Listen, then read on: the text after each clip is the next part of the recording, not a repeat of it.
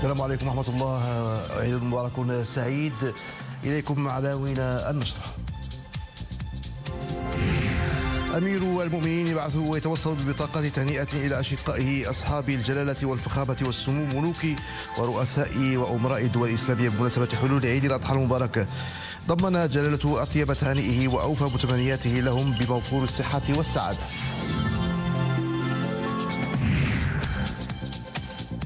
بالديار المقدسة حجاج بيت الله الحرام يرمون الجمرات في منى بعد طواف الإفاضة. ضيوف الرحمن كان قد رموا كانوا قد رموا جمرة العقبة بمنى صباح الأحد إذانا بأول يوم من أيام عيد الأضحى.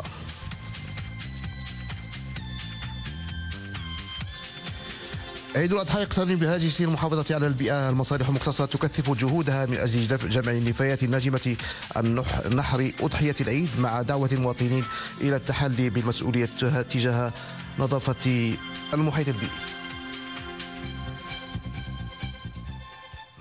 نبدأ النشر ببلاغ وزارة القصور الملكية والتشريفات والأوسمة والذي تعلن فيه أن أمير المؤمنين صاحب الجلالة الملك محمد السادس نصره الله وأيده سيؤدي صلاة عيد الأضحى المبارك يومه الاثنين العاشر من ذي الحجة بمسجد الحسن الثاني بمدينة تطوان. وستبث وقائع صلاة العيد مباشرة على أمواج إذاعة وشاشة التلفزة ابتداء من الساعة العاشرة والنصف صباحاً.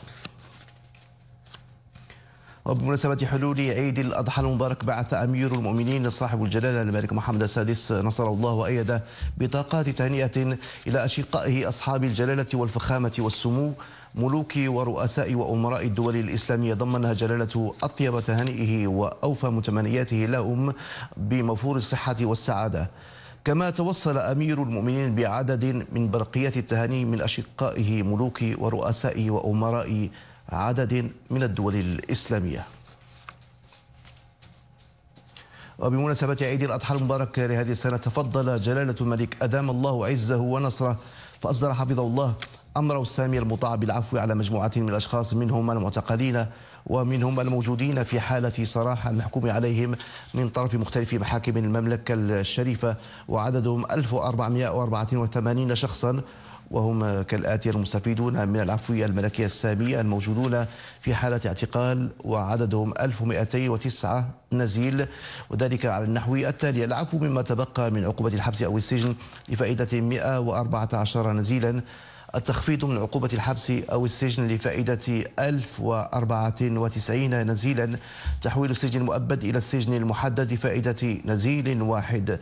المستفيدون من العفو الملكي السامي الموجودون في حالة الصراح وعددهم 275 شخصا موزعون موزعين كالتالي. العفو من العقوبة الحبسية أو مما تبقى منها لفائدة 69 شخصا العفو من العقوبة الحبسية مع إبقاء الغرامة لفائدة ستة أشخاص. العفو من الغرامة لفائدة 189 شخصا العفو من عقوبتي الحبس والغرامة لفائدة تسعة أشخاص. العفو من الغرامة ومما تبقى من العقوبة الحبسية لفائدة شخصين اثنين. أبقى الله سيدنا المنصور بالله ذكرا وملاذا لهذه الأمة. ومنبعا للرأفة والرحمة وعاد أمثال هذا العيد على جلالة بالنصر والتمكين. وأقر عينه بولي العهد صاحبي السمو الملكي الأمير الجليل مولاي الحسن وجميع أفراد أسرة الملكية الشريفة إنه سميع مجيب. من المقاصد الشرعية لعيد الأضحى إخلاص العبادة لله وحده وإحياء سنة نبيه الكريم وكذا استحضار روابط الود والقيم والتكافل الاجتماعي. وداد المساوي وأحمد الفاضلي ويسم زياد. أضحية العيد ليست مجرد عادة اجتماعية تتوارثها الأجيال وليست مناسبة موسمية يجتمع فيها الأحباب والناس لأجل تناول اللحوم والاستمتاع بها بل هي قربة وشعيرة يتقرب منها إلى الله عز وجل.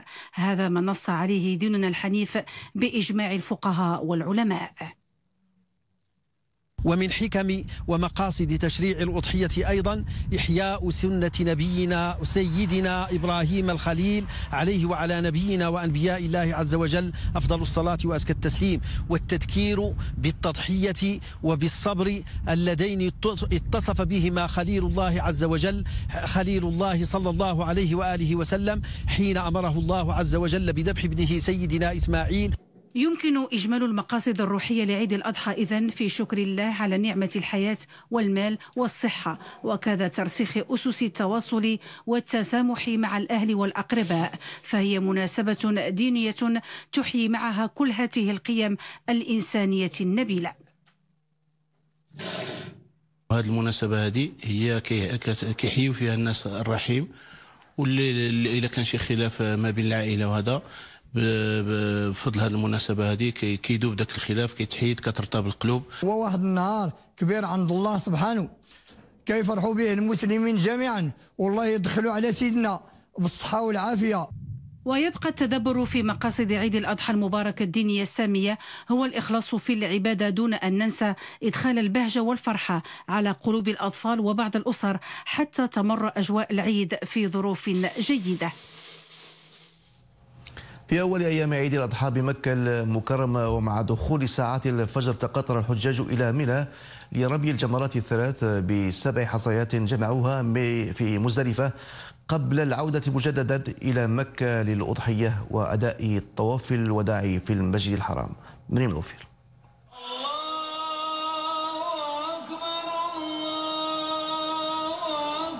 الحج فريضة لمن استطاع إليه سبيلا.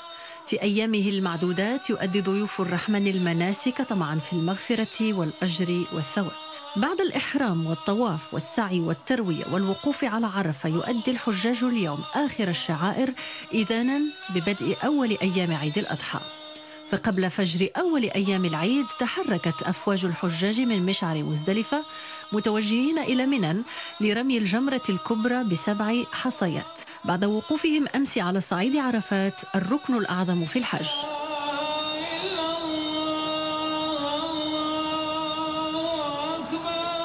ومع بزوغ أولى ساعات الفجر تقاطر الحجاج على وادي منى قرب مكة قادمين من مشعر مزدلفة لرمي الجمرات الثلاث بسبع حصيات قبل العودة مرة أخرى إلى مكة للأضحية ولأداء طواف الوداع في المسجد الحرام. أدى المناسك هذا العام أكثر من مليون وثمانمائة ألف حاج وحاجة من بينهم مليون وستمائة ألف من خارج المملكة ضمنهم ألفي شخص من غزة بحسب السلطات السعودية.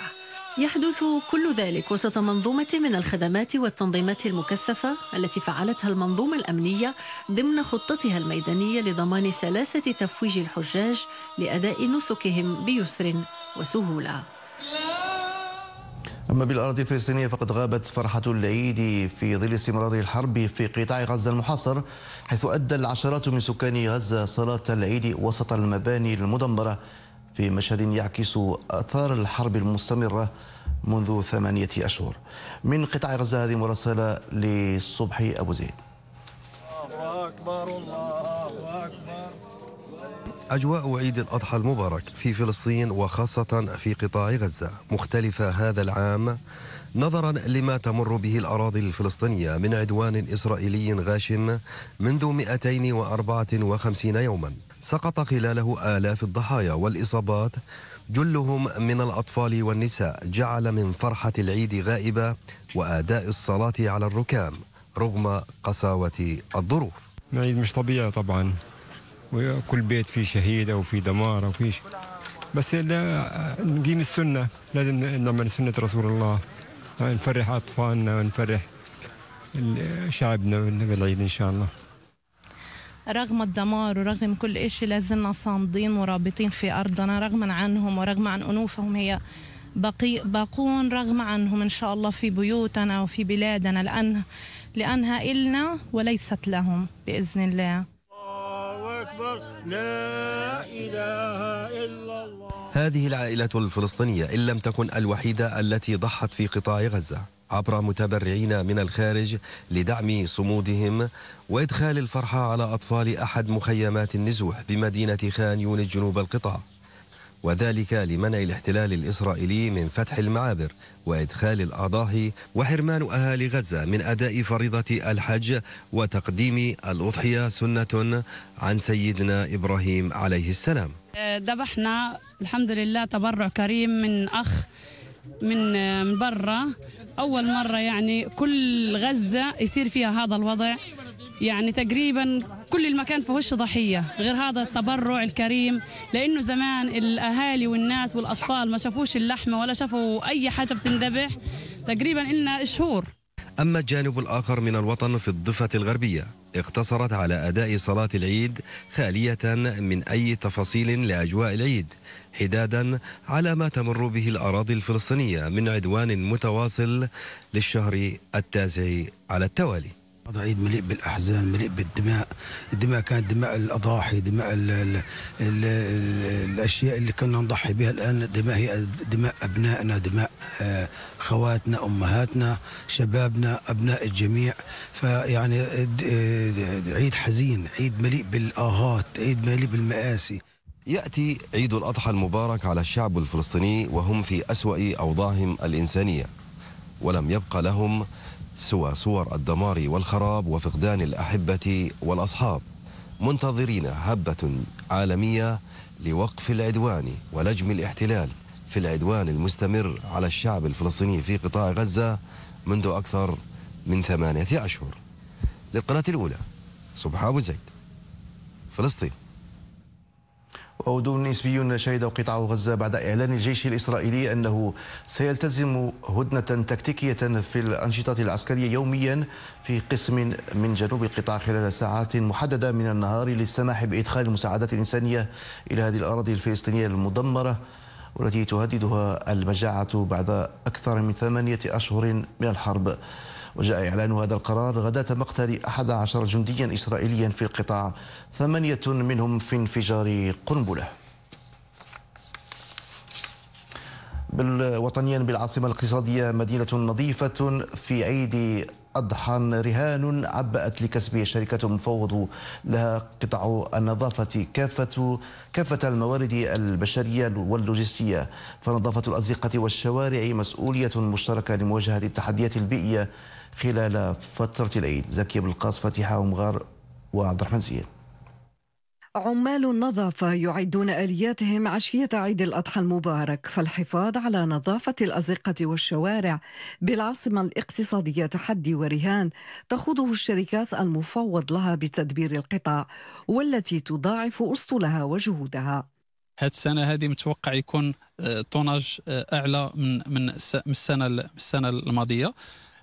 بالنسبة للأسطول ديالنا فكيتكون 364 شاحنة وآلية جاهز 100% آه، اليوم بدا البرنامج ديال العمل ديالنا وإن شاء الله يوم العيد آه، ابتداء من الساعة السادسة السابعة مساء غيبانوا البيضاويين انه المدينة ديال الدار البيضاء تنقات براتيكمون من لي ديشي. جمع الأطنان من النفايات التي تراوح 30 ألف طن خلال أيام العيد. يتطلب تسخير كافة الإمكانات البشرية واللوجستية لتسهيل العملية. في الأيام ديال العيد كاملة فالعامل البشري حاضر لا سائقين ولا آه، عمال كذلك ولا أطر كذلك ومراقبين. ولكن هذا الشيء كامل ما كيقدر يكون مدعم إلا بالمواطن اللي تيبقى هو الحلقة الأساسية في الحفاظ على النظافة ديال المدينة ديالنا مهمة عمال النظافة خلال عيد الأضحى ليست هينة والحفاظ على نظافة الأحياء والشوارع رهين بسلوكات المواطنين. وفي هذا السياق تم توزيع 120 طنا من الأكياس البلاستيكية على الساكنة. الآن توقعات الجوية في تقرير ليلى غبال أهلا ومرحبا بكم مشاهدينا في النشرة الجوية.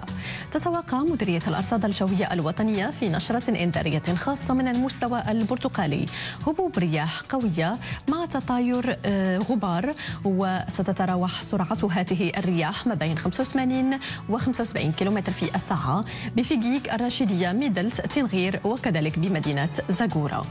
وارتباطا بهذا يتوقع أن يكون الطقس حار بالسهول الداخلية الشمالية وكذلك الوسطى وبالمنطقة الشرقية للبلاد وبالجنوب الشرقي وكذلك بأقصى الأقاليم الجنوبية. مع تكون سحب منخفضة مصحوبة بكتل من الضباب بالشمال الغربي للأقاليم الجنوبية وكذلك بالسهول آه، الشمالية والوسطى للبلاد. هذا مع رفع زوابع رملية بالجنوب.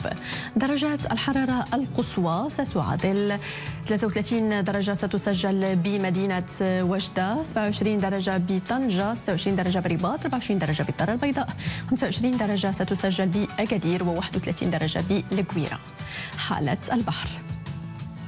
سيكون البحر بالواجهة المتوسطية وكذلك بالبوغاز. هادئ إلى قليل الهيجان. أما بالسواحل الأطلسية سيكون البحر قليل الهيجان إلى هائج. شكرا لتبي المتابعة وعودة إلى بلاطو الأخبار. ختام النشرة تذكير بأبرز ما جاء فيها.